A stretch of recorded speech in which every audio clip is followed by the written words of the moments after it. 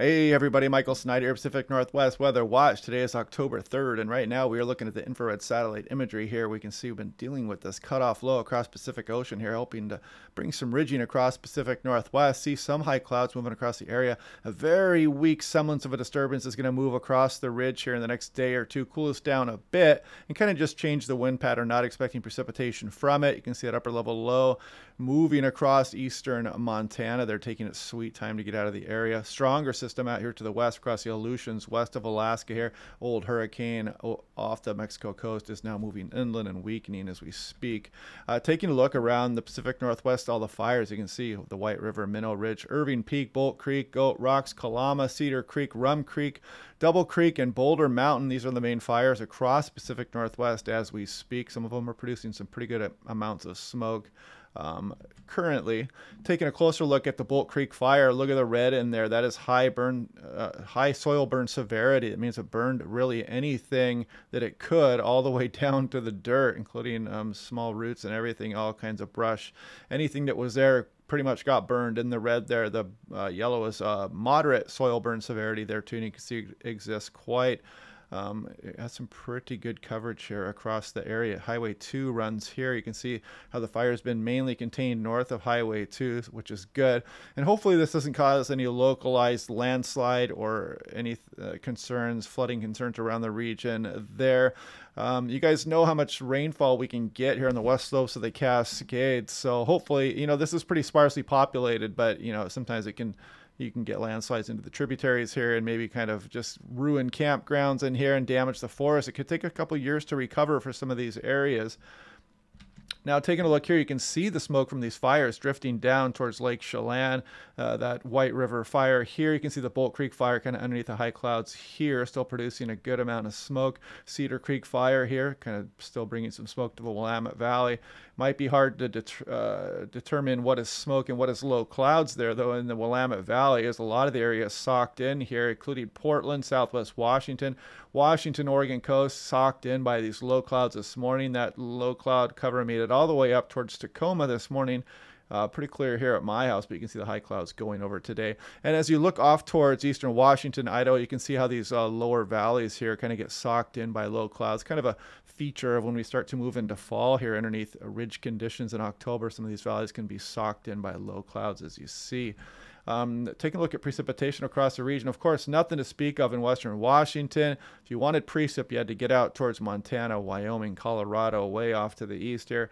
Uh, you can see a few blue dots here across western Oregon that may have been dew. Sometimes that dew from the low clouds forms on the rain gauge and can trip the bucket for a hundredth of an inch or two, but no actual precipitation fell yesterday. This is looking at Spokane, talking about smoke spreading north through the week. We're going to turn the winds southerly. Like I mentioned, that very weak system is going to move through the area. It's going to switch our winds up for a day or two. And then we're going to go back offshore and warm back up a little bit again towards next weekend here. But of course, we've been dealing with the smoke for several weeks now. Nothing out of the ordinary there. You can see Spokane with a weak outlook here. Pretty warm here coming up. Chilly overnight lows, but highs into the 70s and potentially the low 80s for some areas. Look at SeaTac yesterday. All-time daily record high, October 2nd, hit 80 there. We might not quite get there today. The record again is 80, set back in 1993. We're probably going to be towards the upper 70s, though. It could get close. We'll watch that during the day today. Portland 88 yesterday, quite a bit above average. That did not get the record high set back in 1970. And there's quite a bit of low clouds around today, so they might not get to that record high today either for Portland. Now, checking out the HRRR, 8 meter above ground smoke. You can see this does exist for some of the Puget Sound this morning. You can see the Cedar Creek fire down through Oregon as well. Then you can see that southerly wind kind of carry some of the smoke north and maybe clear out the Puget Sound for at least a day or two. But to be the bearer of bad news again, we're probably going to turn this flow offshore again here through later this week here and probably introduce that smoke back into western Washington and Oregon here. So we'll take a look at that here coming up in a moment. This is looking at 500 millibar cyclonic relative vorticity. You can see that system out over the Pacific here. Here's us. There's an upper level low across Montana. As we go through the day today, you can kind of see that weak system. It's not even going to bring any precipitation across the area, but it is going to change our winds up a little bit as it kind of moves through. And then that trough gets reinforced over the Gulf of Alaska here. And then we're going to rebuild the ridging later on through next week. Now, taking a look at the surface winds here, you can see we still have that easterly component as we go through the morning today, and then we kind of switch things up by the time we get to Tuesday afternoon. You can see kind of an onshore flow going across the region here. Southerly winds through the Puget Sound, uh, bringing that smoke northward into through the North Cascades. But uh, at least the Willamette Valley will get a little bit of a break from that Cedar Creek fire. But then look as we go back into Wednesday morning and then on into uh, what is this Thursday morning. Now you can plainly see this easterly component again through western Washington, southwest BC, down through Oregon. Going to be introducing whatever forest fire smoke is over the Cascades and eastern portions, on into western Washington, western Oregon again, because we're not going to have any precip in the meantime to help squelch these fires. Now taking a look at the European on the left. And the GFS on the right, you can see that cutoff low over the Pacific, the one inland over Montana here. Here's the North Pole, Hawaii. There's Siberia out here, British Columbia, Washington, Oregon. Put this into motion here. You see that weak system slide over the top of the ridge, barely even detectable here at 18,000 feet.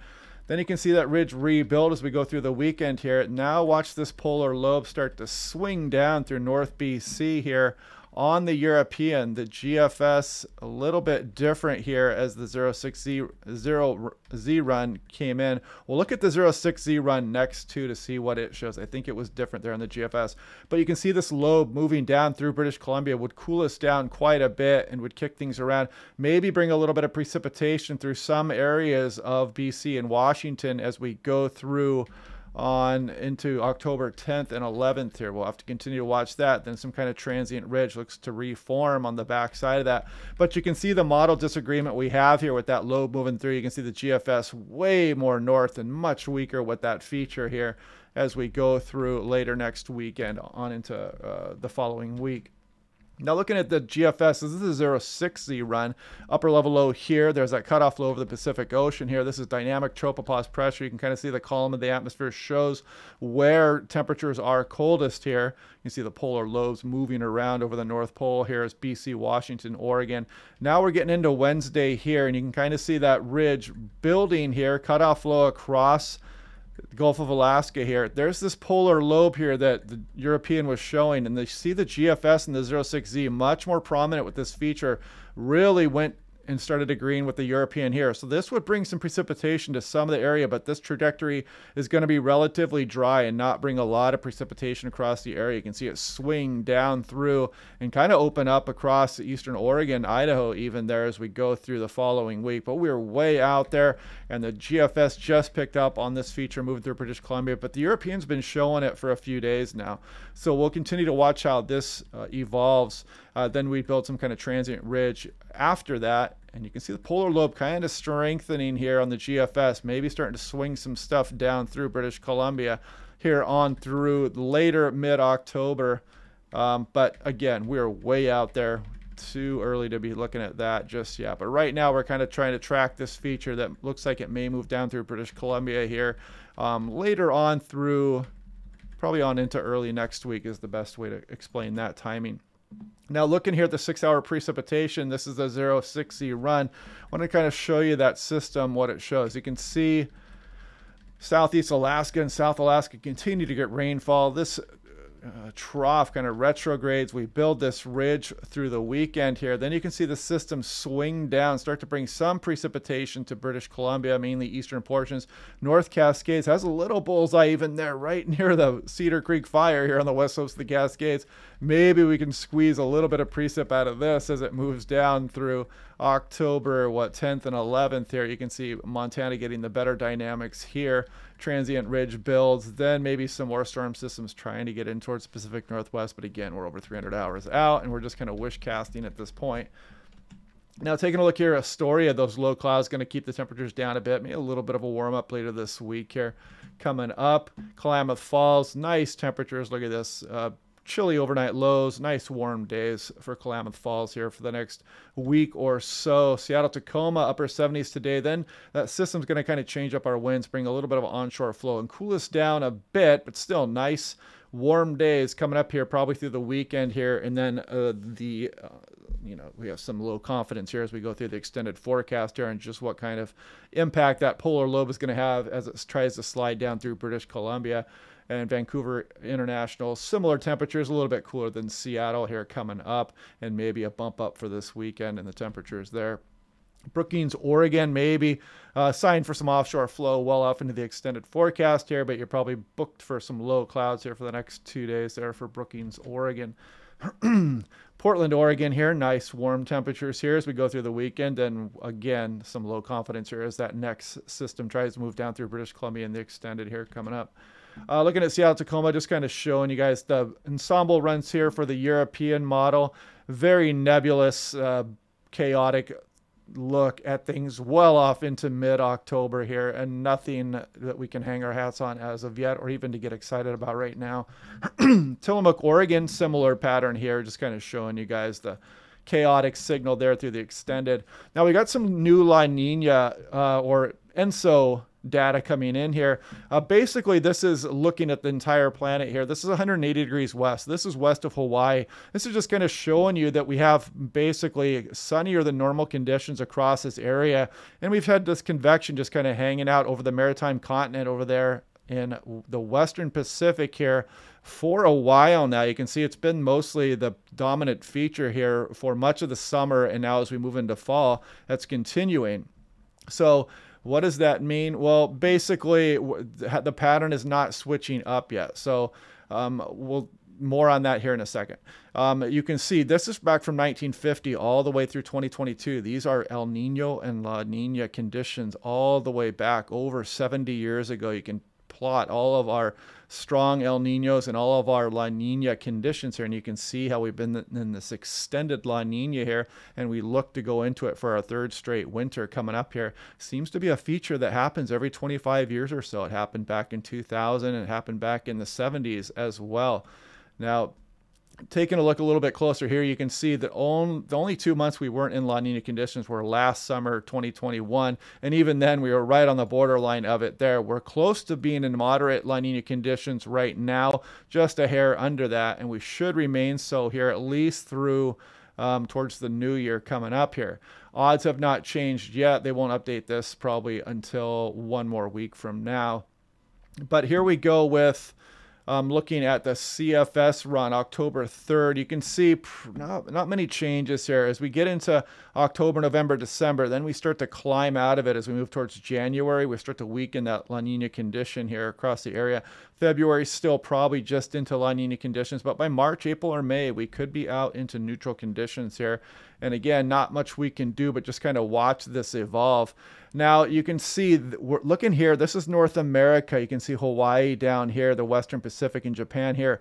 You can kind of see this similar pattern here over the last 60 days. We got this ridging out over the Western Pacific or off to the west of the Aleutian Islands. And it's been leading to this Gulf of Alaska trough and bringing those wet conditions to southeast Alaska, the south coast, and then the ridging downstream across the Pacific Northwest here. And that's why we've been so darn dry. This kind of Rossby wave train pattern has continued to bring us the ridging here for the western portion of North America here. And you can kind of see it here in the um, upper level winds. 200 millibars to be exact, 39,000 feet. You can see that ridging here with the stronger jet shown here. And that's probably has to do with La Nina conditions and the Madden-Julian oscillation that we talked about I'll go back up here and kind of show you that this uh, this convection has been hanging out over the maritime continent. That's probably why this energy transfer goes northward um, of the maritime continent, gets caught up in the jet stream and causes that downstream ridging, then troughing over the Gulf of Alaska, then ridging across North America. And that's what's keeping us so dry and warm, shown here again in this symbol there. So anyway, that's what's been going on here. And it, you can see end date October 1st, much drier than normal here across Pacific Northwest and much warmer than normal as well, which looks to continue for a bit longer here. So anyway, uh, yeah, we'll just continue to watch these La Nina numbers come in here and we'll just we just have to wait for the pattern change basically. I mean uh, i'm just enjoying the nice weather while it is nice anyway. You know i don't enjoy these mornings of some heavy smoke moving around the puget sound but i you know you just have to kind of deal with it and see how that goes. But anyway we're looking off in the extended around uh, October 10th or 11th. Looks like a system may slide down through British Columbia. It's moisture starved, but it could bring some precipitation across the region. European and GFS are now showing it, so we'll continue to watch that. And if nothing else, it'll really push this ridge off to the west at least, and maybe it'll stir things up and kick that smoke out of here for a while. But we really need a nice atmospheric river or some kind of precipitation maker to come through the region here and start to squelch these fires. And right now, we just don't have it. We don't see it in the extended forecast. Things can still change quickly here. It is October, and we'll continue to monitor that day by day. So we'll check things out again tomorrow. We'll continue to look for any signals in the extended, and I will talk to you guys then.